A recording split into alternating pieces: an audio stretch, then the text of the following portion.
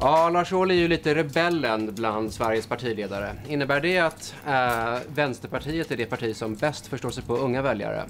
Välkommen till Jobbgrillen, programmet där vi ställer politikerna mot väggen med frågan varför har Sverige den högsta ungdomsarbetslösheten i nästan hela EU? Och vad ska ditt parti göra åt saken? Dagens gäst är Klara Lindblom. Jag säger välkommen till dig. Du är riksdagskandidat för Vänsterpartiet. Yes. Um, Klara, när man, när man bloggar dig så hittar man många inlägg om uh, bostadsbrist och att vi behöver fler studentbostäder. Varför har du gjort det där till din profilfråga?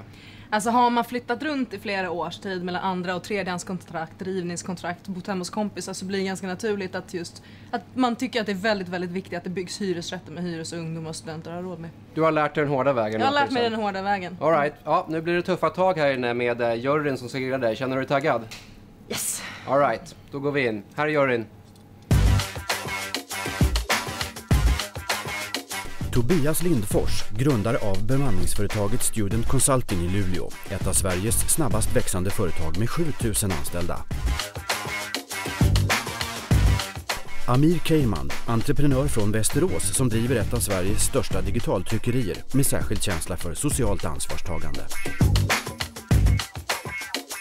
Lina Thomsgård driver PR-byrå och är initiativtagare till Rättviseförmedlingen som hjälper företag att hitta folk ur underrepresenterade grupper.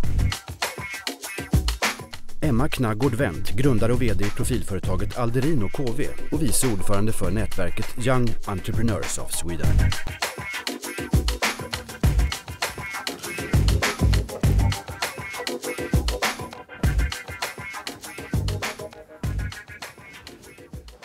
Välkommen Klara. Du ska strax bli grillad av vår eminenta jury här uppe. Men först ska du helt kort få beskriva hur ska Vänsterpartiet skapa fler jobb för landets unga. Varsågod. Yes. 1. Investeringar så att det faktiskt finns några jobb att söka. Och det handlar om investeringar i till exempel bostadsbyggande, i välfärden, i miljöteknik och så vidare.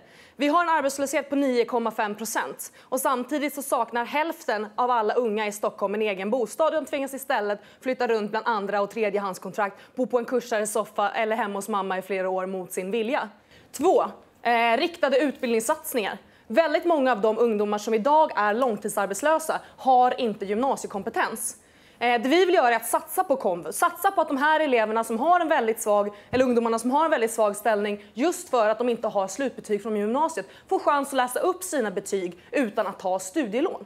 Vi måste också stärka rätten till praktik, både på gymnasieskolan och på högskolan. Många av de eleverna som går på praktiska program har inte, eller får inte den praktik som de har rätt till enligt skollagen eller enligt läroplanen. Eh, och också när det gäller högskolan. Tre, apropå entreprenörer, apropå småföretagare, sjuklöneansvaret. Eh, vi tycker att det ska avskaffas för företag med mindre än 10 anställda. Har du en liten verksamhet med tre eller fyra personer anställda så är det orimligt hårt. Om du en av dina anställda blir sjuk så slår det väldigt, väldigt hårt mot verksamheten. Vänsterpartiet tycker det är orimligt att man ska bära det sjuklöneansvaret som småföretagare. Tack så hemskt mycket för den presentationen. Då är det dags att lämna över ordet till juryn. Och, eh, vi kan väl börja med dig, Lina. Ja, eh, jag läste en debattartikel som du har skrivit just om det här med unga studenter och att det är svårt att ha någonstans att bo. Och jag tänkte kolla, hur, hur ska ni... du nämnde det nu, att bygga nya bostäder. Ungdomar måste ju ha råd att bo i de städer där jobben finns. Hur sjutton ska det gå till?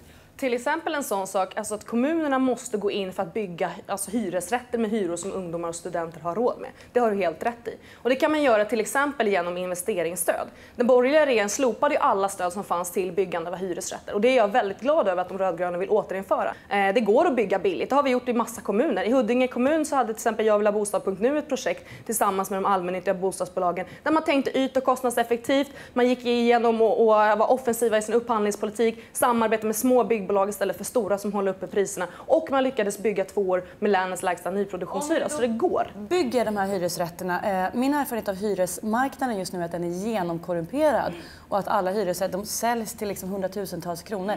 Går det att rätta till det systemet? Går det att få det på fötter igen? Absolut. Det är, alltså, anledningen till att vi har en så pass omfattande andrahandsmarknad det handlar framförallt om att vi har en otrolig brist på bostäder. Som jag nämnde tidigare, alltså det är bostadsbrist i varannan svensk kommun och hälften av landets unga saknar egen bostad. Och det som är problemet nu, det är att regeringens bostadspolitik fokuserar väldigt mycket på att just ha tillfälliga lösningar. Det ska bli lättare att hyra ut i andra hand, det ska bli lättare att hyra ut rum i villa. Men problemet är att ungdomar far väldigt illa på den här andrahandsmarknaden. Hyrorna ligger ofta mycket, mycket högre. Så bästa sättet att faktiskt göra någonting åt problemen på andrahandsmarknaden, det är att bygga bort bostadsbristen. Och det kan man faktiskt göra. Vänsterpartiet vill ju exempelvis underlätta för de små företagen. Ni vill bland annat sänka arbetsgivaravgifterna för soloföretagare när de nyanställer. Tror ni att det är sättet att lösa ungdomsarbetslösheten? Mm. Det man kan säga generellt sett när man ska göra riktade satsningar, det är ett, ett exempel har du där, men också när det gäller det här med arbetsgivaravgifterna. Idag så sänker man ju arbetsgivaravgifterna, eller har man sänkt arbetsgivaravgifterna för alla företag som har ungdomar anställda, utan att man ska få någonting tillbaka. Alltså McDonalds behöver inte anställa en enda Fast ungdom och ändå. Hur många jobb tror du att det skapar om ni sänker för soloföretagare att nyanställa sin första person? Det kan absolut skapa en hel del jobb, men jag tror inte att det kommer lösa jobbkrisen alltså själv och det är inte någonting som vi hävdar heller. Det vi däremot säger är att istället för att sänka till exempel arbetsgivaravgiften för alla företag som har en ungdom anställd, satsa de pengarna på de ungdomar som faktiskt är arbetslösa. De ungdomar som idag går väldigt lång tid utan jobb. Ni säger att, eh, precis som Emma nämnde här, att ni vill värna om de små företagen. Var, var tycker ni att gränsen för småföretag är? Ja, de gränser man brukar dra är ungefär 10 anställda. 10 anställda? Ungefär. Efter det, då, då tycker ni att då har man blivit stor nog att, eh, att inte få någon sorts stöd från, från er. Jag har 14 anställda och eh, jag känner inte riktigt att... Jag känner mig som ett pyttelitet företag om jag jämför mig själv med Volvo eller ABB eller något sånt där. Eh, Fast där känner jag att där tar all stöd från er slut. Jag känner inte att jag får något gehör från er. Mm. Det du kommer få till exempel om du anställer en ungdom som är arbetslös, då kommer du få he alltså hela arbetsgivaravgiften slopad. Det är en sån sak. Om du anställer en ungdom som har varit arbetslös, det omfattar ju dig också. Mm. Sen så måste man också se att de här sakerna som jag pratade om innan, om att bygga bort bostadsbristen, det är ju inte bara en sån sak som löser, eh, som löser just bostadsbristen bland unga, utan det handlar ju också om att skapa jobb i andra sektorer. För varje jobb vi skapar inom byggsektorn så skapar vi tre jobb i andra sektorer, som jag sa tidigare. Och där handlar det om att ju mer folk Alltså ju fler människor som faktiskt är i arbete, desto fler människor eh, går och köper pizza, går och klipper sig istället för att klippa luggen hemma som jag gjorde igår eh, och gör sådana den typen av saker. Så att överhuvudtaget det där ger ringar på vattnet. Ni vill slopa arbetsgivaravgiften för, för unga, om jag anställer en ung arbetslös. Samtidigt vill ni ta bort den den sänkningen eller den rabatten eh, på arbetsgivaravgift som, som är idag. Vad ger det mig för anledning att ta unga och anställa istället för att ta en erfaren person på 35 år med 5-6 års erfarenhet om det ska vara lika för alla.